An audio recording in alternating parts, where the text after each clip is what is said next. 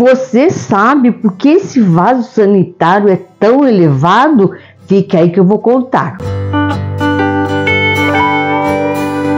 Antes, encontro com as amigas.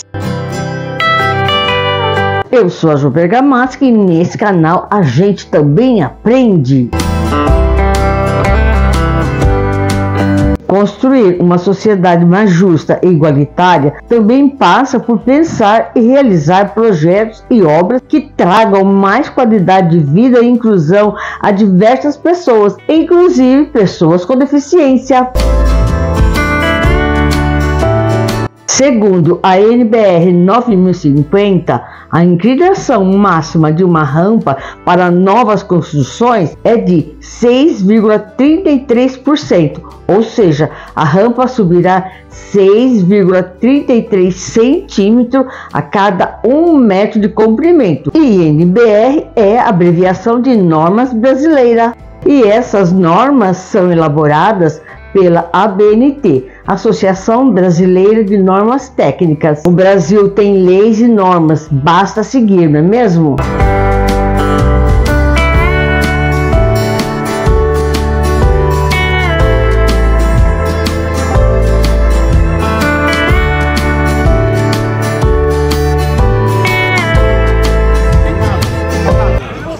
pessoal, tudo bem com vocês? Eu estou aqui, é, eu vim é, conferir a inauguração da UBS nova aqui na minha cidade. Nesse lugar havia uma UBS bem ruim, bem judiada, estava bem velha. E foi inaugurada uma nova, está maravilhosa. Eu vou mostrar para vocês como ela está bonita. Ela parece um hospital, tá bom?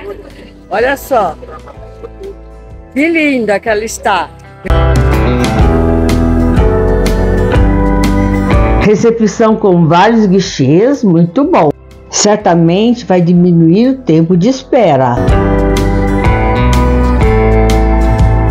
Piso tátil para pessoas com deficiência visual e baixa visão, muito bom. Ele leva vários setores.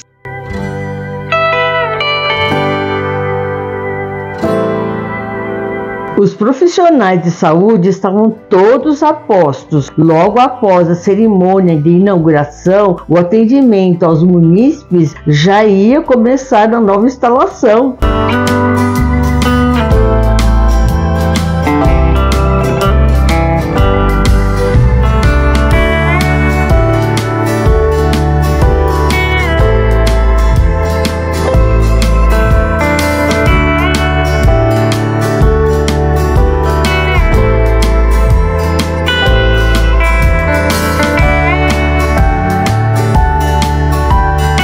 O conjunto de pia atende as crianças, pessoas com deficiência em cadeiras de rodas e as demais pessoas. Olha que legal, uma mais baixa e outra mais elevada. A sala dos dentistas com quatro cadeiras super ampla. Eu percorri por ela com a scooter numa boa. Nossa, adorei.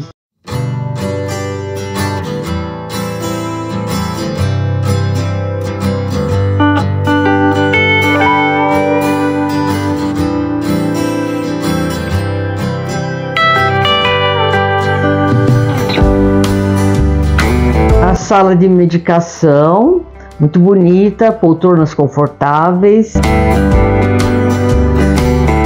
Enfermeiras super simpáticas.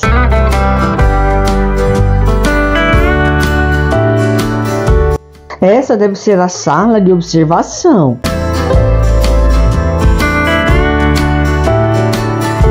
O almoxerifado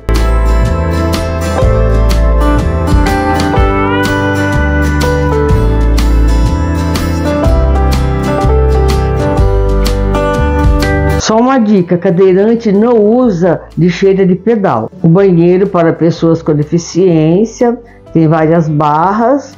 O vaso é mais alto. Olha lá.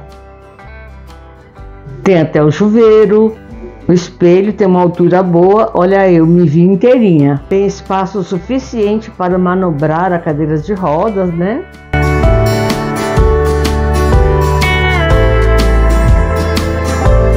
Aqui você não fica constrangido, tem vestiário para PCD e escrito em braille.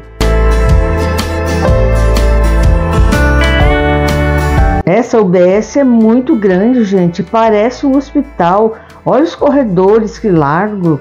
E os consultórios também são todos muito amplos sobre esse vaso alto. Ele atende os indivíduos que têm a necessidade de realizar a higienização ou troca de sua bolsa coletora, essas pessoas que são ostomizadas. A bacia sanitária tem uma altura próxima à linha da cintura do paciente, não havendo necessidade de abaixar em um vaso convencional, o que evita algum desconforto. Confiram o símbolo de pessoas ostomizadas.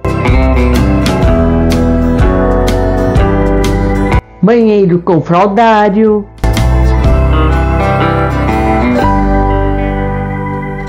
Aqui fica a farmácia onde o SUS fornece vários remédios.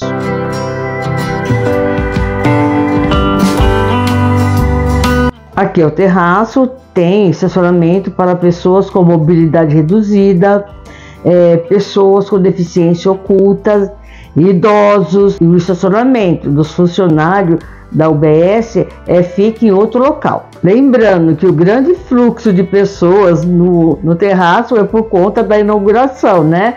As pessoas da comunidade, logicamente, foram conferir a sua nova UBS.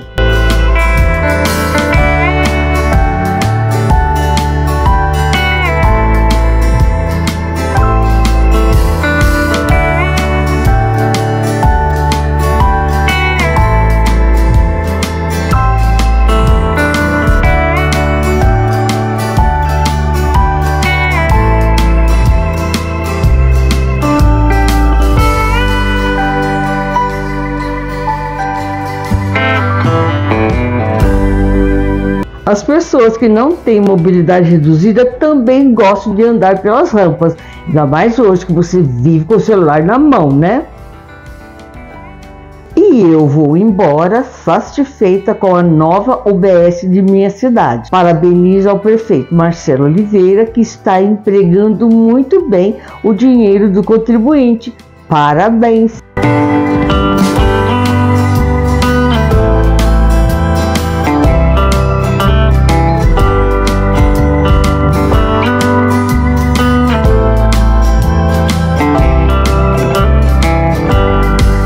Você ficou comigo até agora, muito obrigado. Não se esqueçam, hein? Se inscreva no canal, deixe o seu like e acione o sininho. Me siga no Instagram, arroba João Mulher Inclusiva. Vista da UBS lá do outro lado da rua. E até o próximo vídeo. Bye!